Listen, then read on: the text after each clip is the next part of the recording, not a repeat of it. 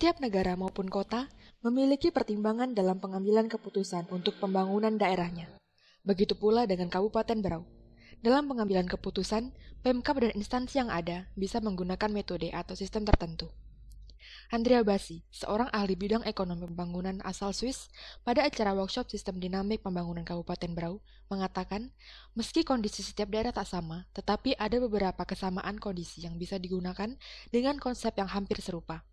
Salah satunya, menggunakan sistem dinamik. Dengan sistem ini, program pembangunan yang sudah berjalan maupun direncanakan masih tetap bisa dipertahankan. As you know, the condition in Brazil, uh, I want to know what concept per system model that fits for Brazil, for Radimo. So I think that systems dynamics, so the analysis of how social, economic, and environmental variables are connected with each other, can help improve the sustainability and the resilience of the economy of Berau. Uh, is there any country which have the same condition as in Brazil right There- now?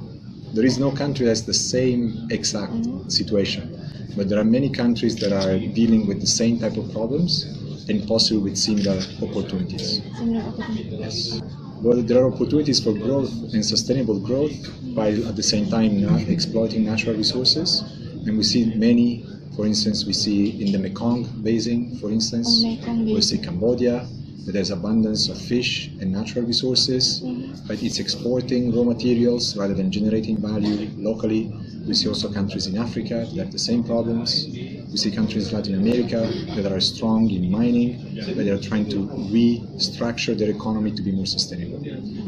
I think it's possible to strengthen green growth. Yes, especially explain? Hmm? yes, especially if we balance the relationship between economic growth and environmental preservation in a way that we need to find strategies that support economic growth by keeping the forest, by keeping ecosystem services intact.